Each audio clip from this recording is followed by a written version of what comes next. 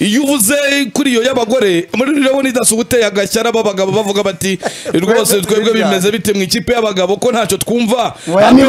Aperi iri kwikomanga ku gatuza ngo ibirori ibirori bateguye drone. Bati none iy'abagore na yo irasinyishije ati iy'abagabo tuzaba abandi ubwo ni Rayon Sport irahari. Bimeze bite rero mutangazaji? Ibintu byashyushye muri Rayon Sport bageze ku isoko. Yageze ku isoko. Ku isoko yatangiye kuva yaha kampani izajya bashakira abakinnyi. Batangiye gukora. N'abatoza. Byose. Julien Mete toza se hari impinduka kuri Julien Mete Mm. ngo mu gashahara karimo kwifuza karenze akabandi. Urumva? Ndetse na raporo ye bategereje. Na bamwe bamukemanga. Batangiye kubaransa avuga ati Julien Mete tugumane cyangwa ntitugumane? Harimo araka menshi ubundi se azahaguma. Nyine. Bari banzura ko azahaguma. Ntabwo baranzura. Mm. ariko ngo nawe ngo mu ntekerezo y'abayobozi bumvishe bumva ko akomanga ku gafaranga. Urumva? Sport rero- wenda mu bamwegereye arababwira ati nkeneye amasezerano avuguruye rero neza, yego. yatangiye kuvugana n'abayishinzwe gushakira abakinnyi n'abatoza.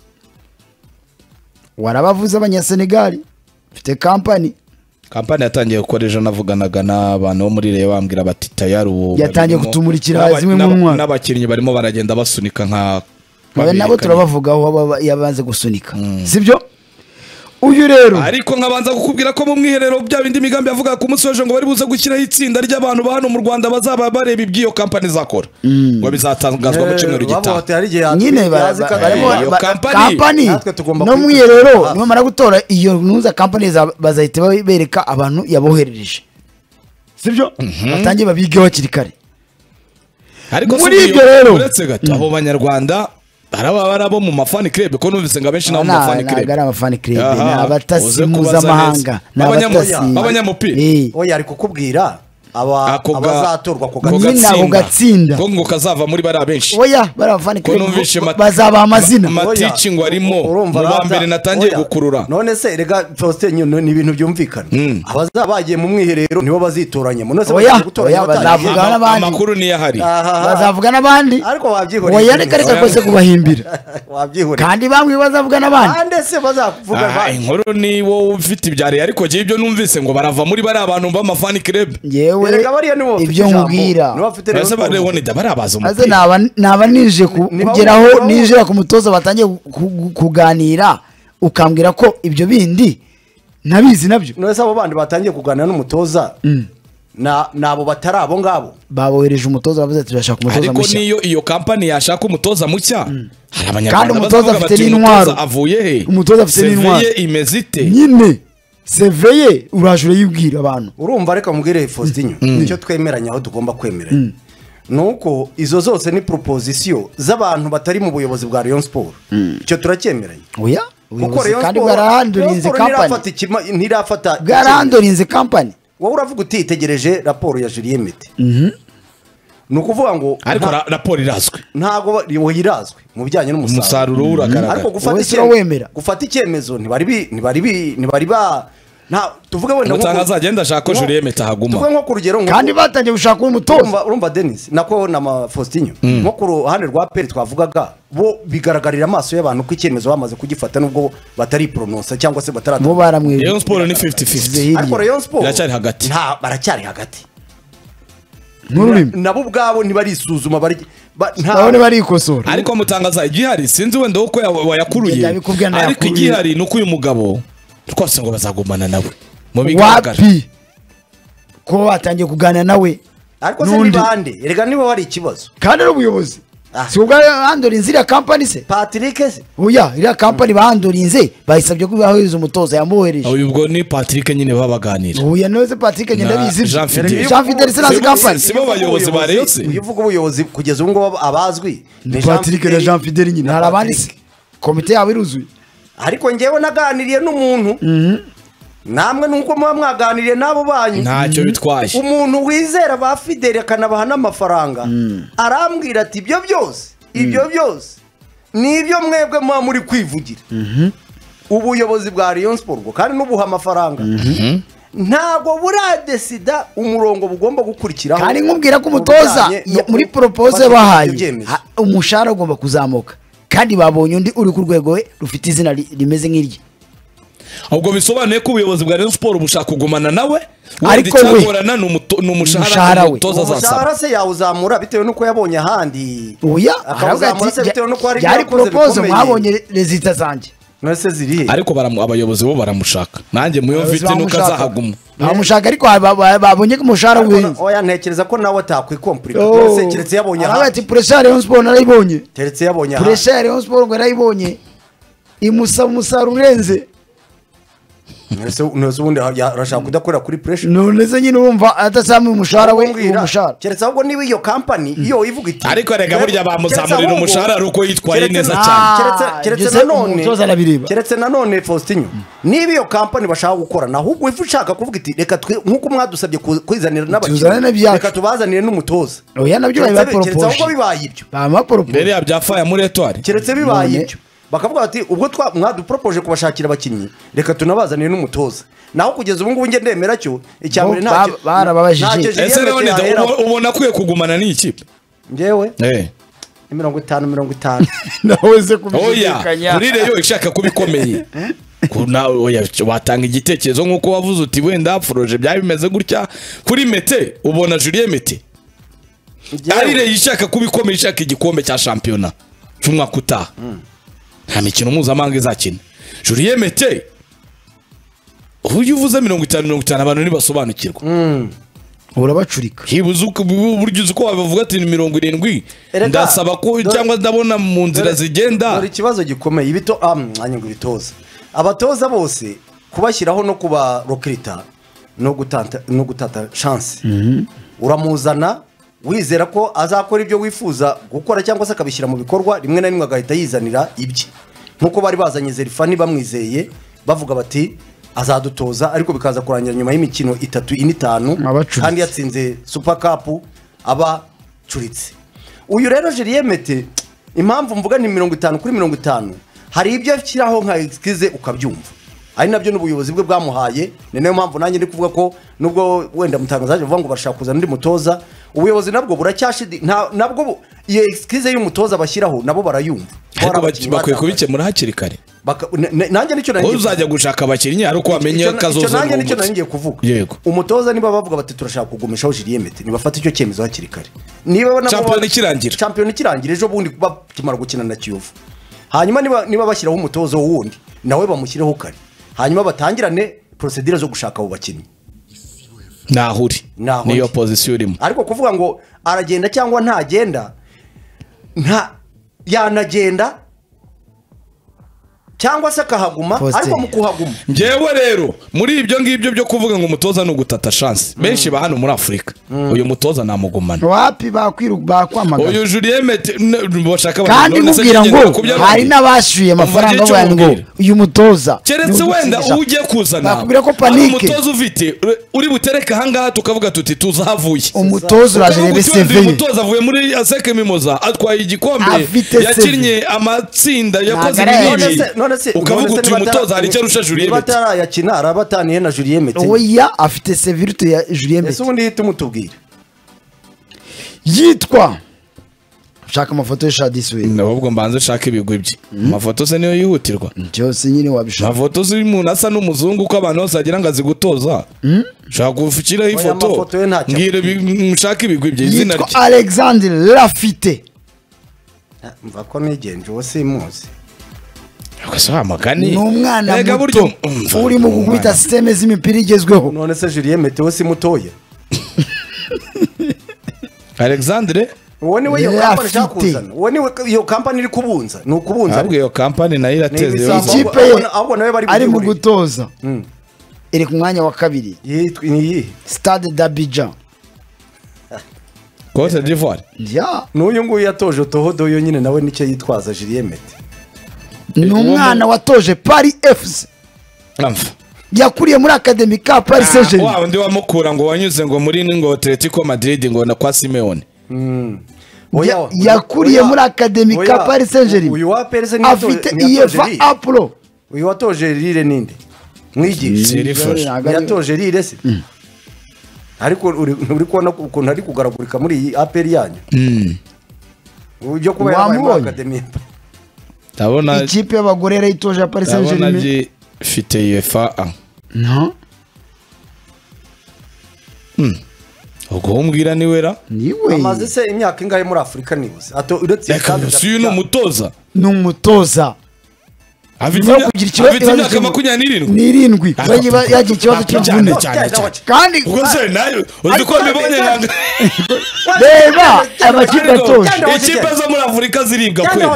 ntabwo si stade dabija yigeze Wacu, mata wacu, wacu, wacu. reba umwanya ahagazeho reba umwanya ahagazeho kuba yaraje ayisanga ari ikipe imanuka. Ayizamura. ari cyo na Julien Mete nawe yakubwira na- ko yayisize ku wa Reka, kabiri ahubwo rero niba ari ibyo iyi kampani iyi yari kampani ndaza no kwibaza abakinnyi iri buzanire. Oya! Ahubwo ibi bintu babitangire hakiri kare. Rayon Sport Oya, oya oya! Uyu ni umutoza rayon sport yamaze kubona. Ah. Rayon Sport ni niyo zihemba ngahe si umutoza uciriritse Oya, bakomeze baje bameze oya, bakomeze baje bameze bamubona. Umutoza ungana banza urebe yabaye muri paris saint germain y'abagore ari umutoza. Aba muri paris fc ari umutoza wungirije muri izo yazibayemo afite cumi n'icyenda. None yaravunitse hakiri kare yari umukinnyi w'umupira w'amaguru.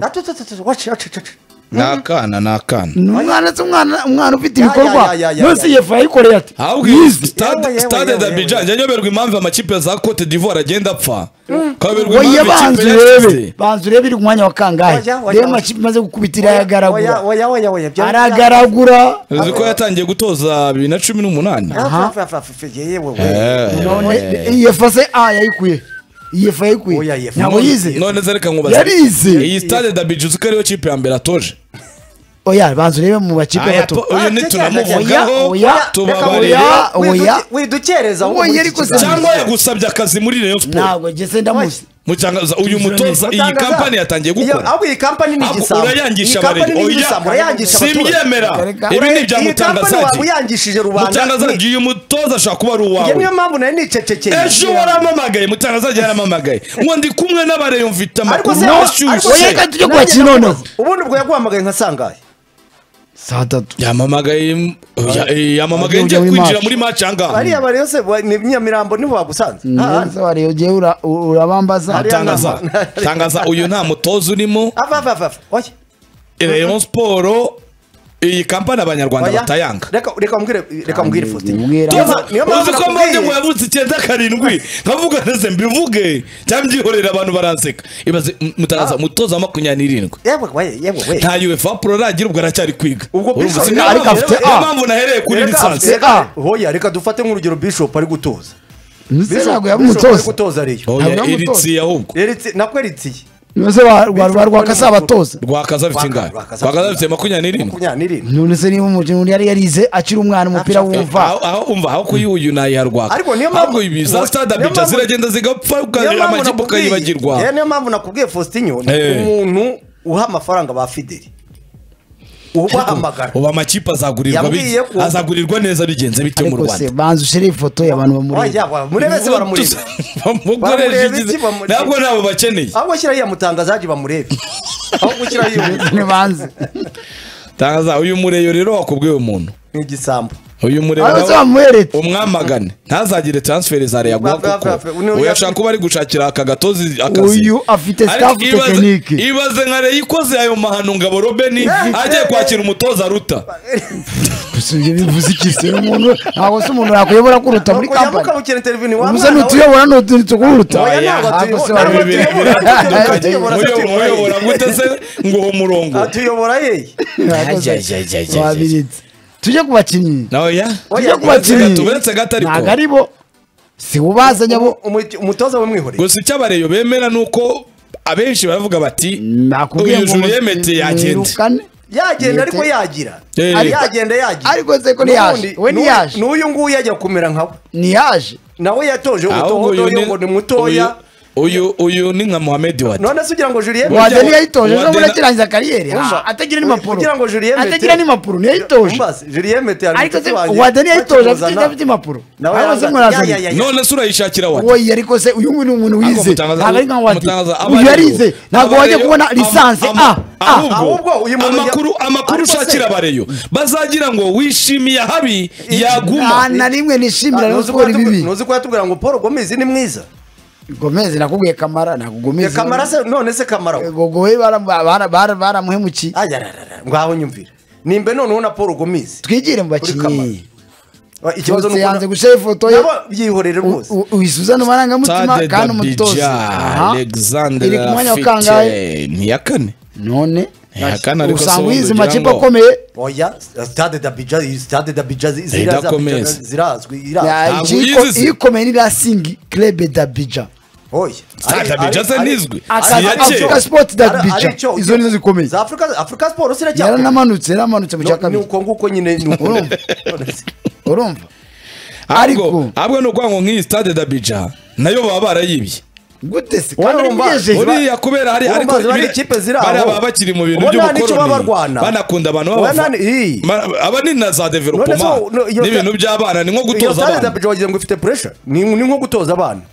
Ah, uyu mutoza arakomeye nyamara reba ko tatoje Paris FC ari umwanzi ajuwe none se Paris FC oya ni nka kuriya waba wigira mu ikipe none se wadeni yayitoje Oya, wo kwiga kare, mu ikipe wigira. Ni nka kuriya niyo ufata urugero urabona ko bureze itanga ishaka ari mu ntare.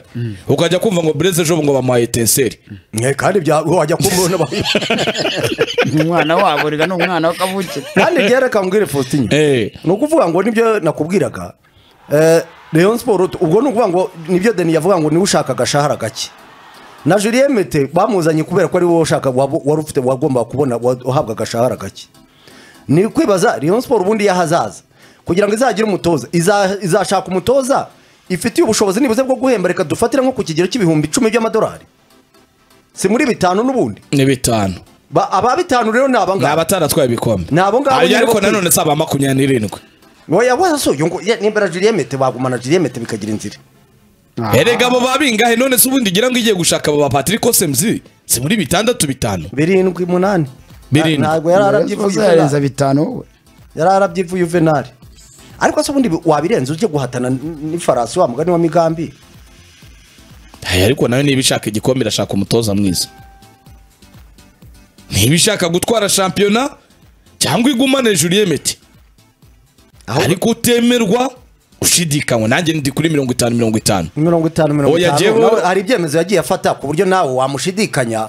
Hari igihe wamuzanira n'abo bakinnyi bakomeye akajya gutenguha uwari rutayizamu akajya amugira umudefanseri na byo burya mujye mubyitondera. Aba batoza rimwe na rimwe baba bazungu wa mugani nk'uku nguku na badeni baba bintu biramwigisha. agafata bugingo hakimu cyangwa aganijoro ukabona ngo ni umwataka ntabwo zerifani ntiyaje atari sene viyo fayo kapu mu tugende ujye kuri gatatu. Ntabwo nimumbi ko zerifani yamushyira kuri gatatu abantu tu- baricara tukikanga Ye. tuti uyu ni umuzungu ni umuhanga cyane none hari igihe tunamubahira icyo ngicyo kandi wenda. Si ibyo se byamutangaza ngo ushyiraho ifoto. Hari ifite amakona ukika ukavuga uti uyu ni umutoza. Ni ugashyiraho ifoto. Ese umutangaza wagura umutoza ugendeye ku ifoto? Ah, kuba asa n'umuzungu Umutangazaji. yambaye aha ubwo ni uwo rero mm, abwi- Twagiye rero. ariko nanjye amakuru mfite nuko iyi kampani yatangiye gukora irimo iragenda iboherereza. Ariko ubwo Rayon Sport na yo ni gushyira ku kanama vuba vuba iramutse iri gukora gutya kakagenda ariko ikazana uwo gacagura rafata niba ari rafata ni rafita niba ari ni rafata La- lafite Ya- lafite alexander lafite aramaganywe cyane. Eh, yamaganywe pe pe pe pe pe pe pe. Mu isibo sipoti aramaganywe cyane. Harya migambi niyo dushinja ngo ngo amakipe ngo hari igihe ngo tuyashyirireho abatoza ngo niki niki cyane. Eh. nanjye kandi mwe mutangiye nanjye uyu we kwamagana robert nyamake ngo ni ibihumbi bingahe mutangaza? Robert ahagaze uyu munsi. Arahanze ibihumbi cumi na bibiri gutyo cumi na Afite Eh, umurimo. Naho se? wamuko- oya? Ariko babura umurimo bagakomeza bakanikakaza ku biciro. None. Eh cyane. Ubwo Kandi- rero kandi robert nyine alex umu- umuzana. Ariko ngo arahenze. Ese gomez ko Rayon Gomez yaramugerageje. Niwe gomez wahagaze kuri bingahe Gomez ntafite ikipe? Nayo Eh, ari muri nuzoze mu ikipe y'igihugu? Ewe yagomeza afite ikipe ahubwo ahubwo robertinho. Eh, Robert nyine udafite hari ikipe igihe bamara n'igihe badafite umurimo bakihagararaho ndakurahiye. Nka Robert nyine uravuga uti akaba yagaruka. Yakabaye agaruka akaza agakorera birindwi. Tujye ku mudefanseri barangiye rero bamaze kuyoherereza.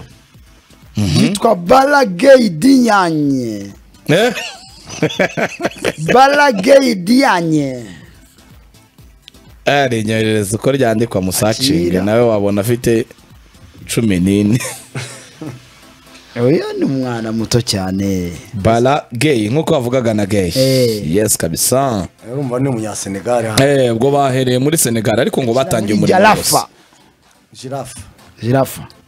As jirafa as jirafa wabimenya sharon das ndazizi ndazizi za izi za burya na yo as duwane igira ikipe y'umupira w'amaguru. Ariko yarapfuye.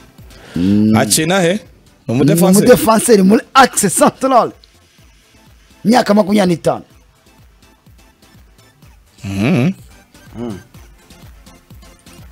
Ndabona namubonye makumyabiri n'itanu akaba ari umusenegare. Senegare kabisa. Kimwe cyane kinye cane yes caf champions league se yayiteye muri iyo kipe ko mbona nta oya nje- ntabwo amakipe muri senegal asigaye ajya muri champions league jirafa irimo ntabwo irimo ariko twengeye iki? Eh, tuyengeyo ya na yo mbese umupira ubundi wo muri senegal usigaye abeza bayo bakiboneka bahita Burayi. amakipe yabo ntakomere. Eh, ntabwo amakereba agikomera asigaye ubwo se asigarana. wahagumye ntaba asanzwe nyine ni nk'aba ba sharifu bayo baza hano mu rwanda. Ukaba watoramo. Ukaba wapfa gutoramo. Afite metero zingahe cyane nabyibona ntabwo ujya mbona. Za generasiyo futu zisigaye zirerera i burayi. Ah, cyane ubwo wowe ni umwe rero ni umudefanseri ku makuru ahari ngo bazashaka umudefanseri rwose. Muri axe aha ubwo se si ibyo twaba tuva hari undi se oya hari kare uzi kuri ukanka urajye he? Iyo kampani iri kurambagiza mu buryo bukomeye iri kuzana irasuka intwaro Rayon Sport yirebere. Ariko rero nihere ku mutoza. Uwitwa yikora Asmani byose. Sanya. Ba- basinyanye n'iyo kampani gusa cyangwa bazajya bashakira hose? Oya niyo kampani ni gusa. kampani iyo ngiyo rero yababwiye ati twe tuzenguruka ntabwo afurika bashaka kubijyamo bababwiye ko bafite abakinnyi gambia bafite abakinnyi cote d'ivoire bafite abakinnyi senegare ibyo byose zabyikorera Asmani Sanya. Ariko hakaba hari itsinda winger. ry'abanyarwanda. Right winger. Asumani sanya. Eh. ahubwo uragarura bakari sanya dore nawe. Bya ari- bindi byawe bya jerivinyo Osman Sanya ubwo ni wo muri izo za Gambia Asmani. Asmani. Mm. Gambia cyangwa Senegal. Kamanza mimwereke uko byandikwa ariko se wowe yes ni usman ahubwo Eh, Usman eh, Sanya. eh, Usman, Senegal Usman, cyangwa Usman. se eh, Cyangwa Gambia. Mali. Senegali. Oya Osman Senegali. Osman Sonko. Ujye wibukira kuri Osman Sonko. Prime minister wa senegal. Wa no wa undi wiyamamarizaga ku kuyobora Senegal nyine u- ariko Ubu- ntibikunde ubu hari- ntarya nta buyobozi arimo Osman Sonko? Hey. wa ntabwo aburimo Ah. aburimo bya politike mu binyamutse kugenda ajya imbere ndavuga wa wundi bafunze ku ngoma ya ya yuriya wa- wavuyeho nyine. Eh, si umucuti wese? Ni umucuti w'uyu watowe yahise amuhumuriza ndetse ubu ni prime wowe ugomba kuba perezida. Ariko barabiringanije ni abajama cyane ariko rero kujya mu burya yarabiharaniye ba bose bari bafungiwe muri gereza imwe bagaruka bakaba ubutegetsi sonko baramufunze cyane baramuharanira ariko nyine rwose yahise amugira minisitiri ariko w'intebe. nanjye namuha umurimo bene nka kuriya oya aba anafite ibitekerezo. Hanyuma uti ni usman sanya. Ndabona yaravutse. Eko icyenda gatatu. Akaba ari umuwinga kabisa w'umunya senegal ku myaka mirongo itatu n'umwe. Akaba without club. Nta kipe afite ubu ngubu. Udafite bigaragara. Ikipe nabwo se wo ibyo- ah, ah, na yo na yo na yo yitwa Ase- aseke aheruka. sanakos. Ah, ah. iyi reka reka aseke sanakos. Aya aheruka ikipe bita Asake Ndiambul muri bibiri na makumyabiri na gatatu ni bwo amasezerano Aba- aba yarangiye nabo ni ukubitonda July bibiri na makumyabiri na gatatu singa ibiza nubibona ati aka kanya without kandi club. mubwira Muta- mubwira ngo niko- njye ayifite oya kandi ari iyo nyine iyo usomye wowe wowe nabi nawe n'ibyo iwawe Niyo- batarashyiramo niyo- update wenda yagiyemo kandi njye mubwira ko uvuze nyifite iyihari aseke sanakos. Urumva se atari iyo ngiyo uri gusoma nabi? Uyu Faustin asoma Kare, kare, kare. yo muri bibiri na makumyabiri na gatatu. Uyu rero nta uyu- afite, nta uyu- kipe afite. uyu nkuyeho vi uyu nshyizeho agasaraba k'umutuku gatukura ndetse tubiri. Ariko iyi kampani yarababwiye ati hari abo tugenda dutiza baba ari abacu twasinyanye Ah, bakiri abana. Eh rwose yewe iyi kampani na yo reka nemere ariko yizerwe na yo izanye umuntu uzwi. Eh. leonida kuzana umukinnyi hano ku mugabane afurika gusoma profile ye biragaragara. Uvuze ngo uyu mukinnyi yakinnye confederations cup yakinnye champions league muri iyi kipe ikipe twese hano turazizi. Yakinnye shani muri iyi kipe. Ibyo uwo mukinnyi arazwi. Ibintu bisigaye byoroshye ntabwo ari nka kera umuntu yakubwira ngo nzanye umuntu ngo muvanye muri kasayi. Eh, ukareba diredi na, ni icyataka byanditse ukamubura. Ubu ngubu umukinnyi wese ari registered muri club akinamo ndetse yewe na transferi ye ibizwi aho yagiye anyura biba bigaragara. Uyu nguyu rero ngewe umwaka wose adakina ni nka ba paul weri ubwo- ubwo agasaraba ko- udusaraba tubiri tw'umutuku. Umukinnyi udafite ikipe ntabwo ari bo Rayon Sport igiye kugura. Na, peri rega nuko. Nayo nyine ni- na peri ntabwo ari ikipe izavuga umukinnyi ngo uyu mwuko none se- yaciye. none se nyine ariko ubwuza umwaka umuntu adakina ubwuza umwaka wose umuntu adakina. Njya ku wundi ariko uretse ko niyo yaba anakinira iyi kipe reka tubyemere na yo na yo nta ntabwo ari ikipe ikomeye muri senegal. Kandi niyo myaka mirongo itatu n'umwe agize ataranyuze wenda mu makipe hano ku mugabane afurika tuvuga tuti dore yananyuze aha. Harya ubwo twari dushyizeho udusaraba tubiri. Uyu ni- tunahubwo uyu ni- uko uri kugenda uvuga uyu ni nka wa mutoza alexandre rafite kandi nkubwira undi ariko iyi- kampani urayangisha abanyarwanda yewe ko ari wowe yaboherereje iyi kampani uri buyangisha abanyarwanda ahubwo mujye kwirebera imifa ya sididi ya kate mujye kwirebera John Mendes sididi ya kate nawe turebe bari kuboherereza namenye namenye nashyireho udusaraba niba ari namenye sididi ya kate cyangwa ari jean fidele sididi ya kate Eh, manza birebe biringaniza bisome neza biba bikwereka Mm, cyane kabisa imyaka makumyabiri ariko abo n'ine ba agenti muba muganira mbona bashyiramo n'igifaransa ubundi ubu cyumva neza cyane burya tuganira yewe ntabwo ugenda mpuzamahanga ati wi wi wi wi c'est bon c'est bon turabona sinjya tuvugana yumva cyangwa ntabwo nabahamagaye cyajya mumenyuza twicaye njye nawe nabariganye navuganye nawe uganira na dera murushe adera murushe nyamamaga Eh, uyu nawe ndabona namubonye kabisa akaba ari umusore w'umunyasenegal. Rayon sport ukuntu mvigiye kuba ariko se senegal cyane na byo ntego wowe no nukurambagize ariko nukurambagize ariko wese ngo ni umukira akaba ari umusore w'imyaka makumyabiri n'ine akaba ari ukina hagati central midfielder mu yihe central midfielder kabisa akinira ikipe ya asak ndiambolo. Ubwo ni cya gikipe n'ubundi cyuriye ushaje? Tumaze kubona. Niyo niyo da niyo kabisa. Ah, urabona akinira iyese nyine ntabwo ariko ruvuga ngo nuze gukina diyamburu ni- ikosa. No gukinira diambolo niyo akinira kabisa. Ariko yaciye muri twenge. Eh, yayiciyemo yayiciyemo bibiri na muri season ishize. Niyo yavuyemo bibiri na makumyabiri na kabiri bibiri na makumyabiri na gatatu. Aha ndetse nge kabisa yanyuzemo asake ndiyamburu cyangwa abo bagenti sha bakorana n'iyo kipe cyane ko mbona ari bo bari gukura abakinnyi. so ubwo nabo rero. Sabo se ngashobora no kuba yakina nka defensive midfielder reka tutazabibage bamwe babike. Tuzabagarukeho no ku munsi w'ejo. Nzakubwira abandi ubutaha. Iyo ni Rayon Sport rero. Ariko ikiriho rwose niba ari ayo mazina iyo kampani ntiyizewe gute. Se? ariko utayangisha abantu. bishobora ya, reka kuba nongere mvuge ikindi cya kabiri. ari imirabyo nko- eh. ayo ni amazina y'iyo kampani iri mu yanohereza ngo ishaka gukorana na Rayon Sport. Rayon Sport muri muri rusange nta kirabivugaho nta kirabikora. Nta kiraba komfurima irareba amazina gusa. Nk'uko n'indi yazi ikayareba.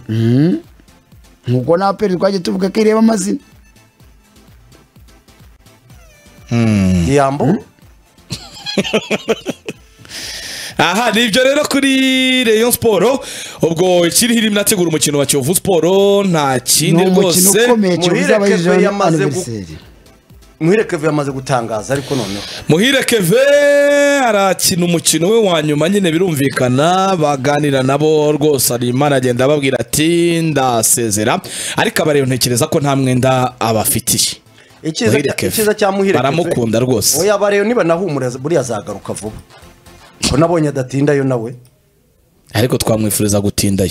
Ko muri iyi minsi muri iyi minsi ari gukina umupira mwiza. habaye ari heza ubundi yatindayo. Kuko ariko namuhireke ajyayo. ubona ko umupira we yazamuye urwego. Icyo mvuga hari igihe harajya mu ki- mu makipe na yo abajenti bamushakira wenda amakipe ya nta kigenda yagera agasanga hari na yo ntari ku rwego rwayo.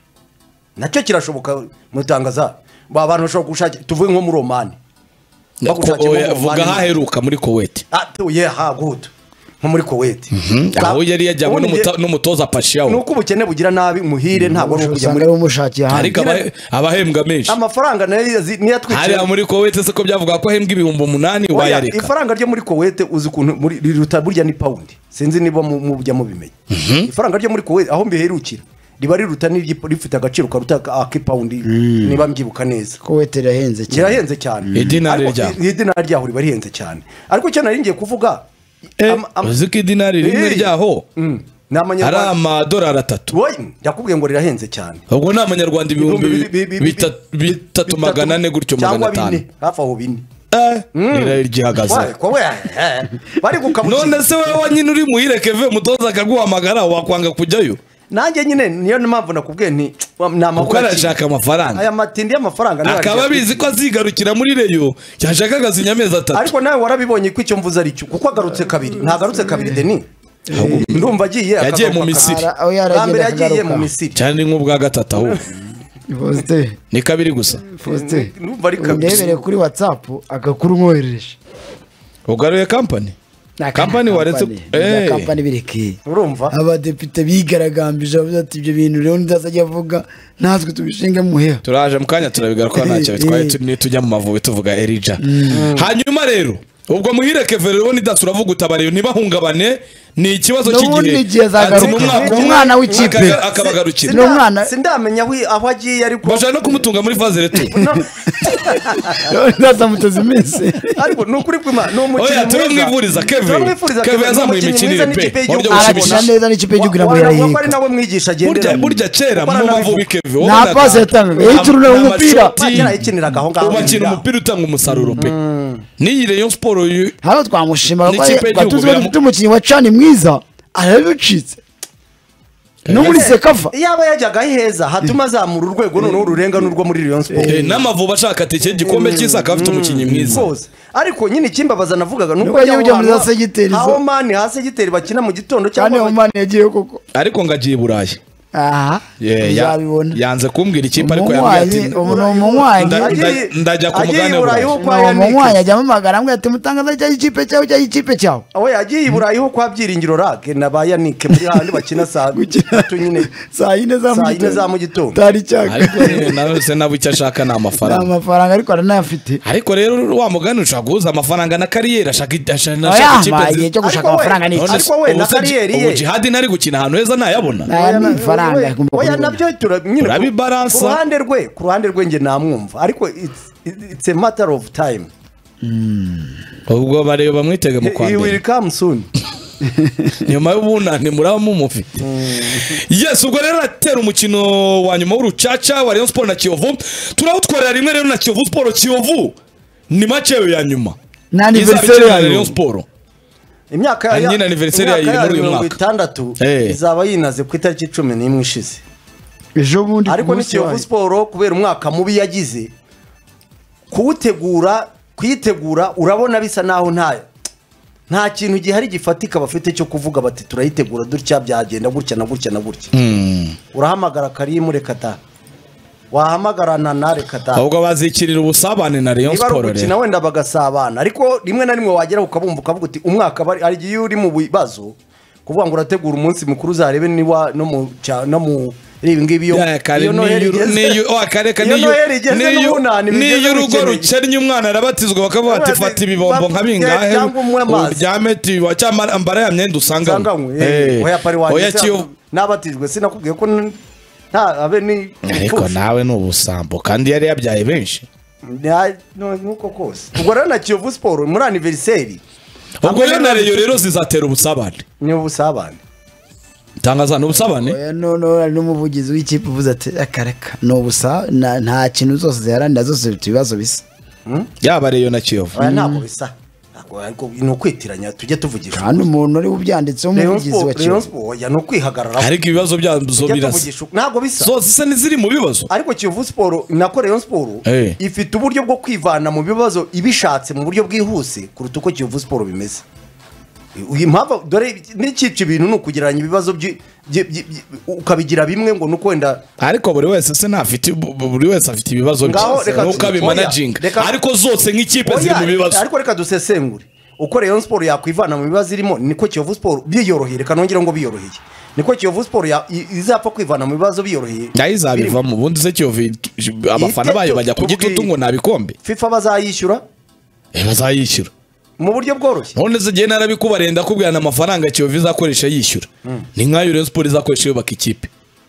None se ibaze aha none Gusa urumva amafaranga iba- barimo bose batajya kungana. ibaze ikipe ikeneye kubaka ikipe n'ikeneye noneho kwishyura ngo yubake ikipe. Ariko kiyovu ifite ikipe aba se. tuvuga aba bambayo nubwo bafite ibibazo ni abayo. None se wagize ngo ikice kiyovu abo ba kirongozi nubwo tuvuga ngo ntibahembwe zirabashaka ni abayo oya reka tutangire ku kice ahubwo nibagurisha igura igitumye abakinnyi kiyovu siporo isafaringa uyu mwaka ni ikihe? Si kuriya kwishyura ba shayibubu n'abakini biki ibintu bi- batakiniye. Gukoresha amafaranga utari wagennye yakabaye azakora mu byo mu bizagutunga umwaka ukayakoresha mu byo kwishyura ibi- ibitarabaye. Ntabwo wambwira rero ngo Rayon Sport ngo izakemura ibibazo byayo mu buryo buyoroheye nk'uko Kiyovu Sport izabikemure mu Kiyovu Sport bizayigura bizayigora uko byagenda uko ariko kose. Reka tuzaba tuzabatumire. iyo na Rayon Sport mace yazo rwose zaba ariyo kwidagadura Eh, nta gapingane karimo ka Rayon Sport na Kiyovu kuri iyi mace rwose. Se kaba ari akiki ntako pe ariko burya bamwe tuvuge nk'ubu ngubu kiyovu siporo igize gutya ikiyanda yandika buri na rika kubita ibitego nka bitatu ku busa bine ku busa. Ah, bakagendera amagambo yabo ku kantu bakagenda baravuga bati ok nubwo byari bimeze gutya ariko ibyo bintu ujye ubyibuka ibyo bitego bintu ujye ubyibuka kuko rega Rayon Sport imaze n'iminsi idatsinda Kiyovu. Iheruka kuyitsinda ke- ke- kera. Muri bya bindi bitabara Ah. ariko na Rayon Sport nta gikomeye iri bukanire ngo iratsinda. Aronite yego. Cya gikombe yuvenali yagiyemo ari kwishakira indonke n'urukundo rw'abanyamakuru. Hanyuma rero reka dusa